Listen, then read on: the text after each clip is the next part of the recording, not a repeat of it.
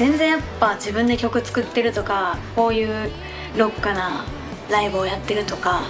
私のことを好きでいてくれてる人は、まあ、みんな知ってくれてると思うんですけど名前しか知らないみたいな人とかはも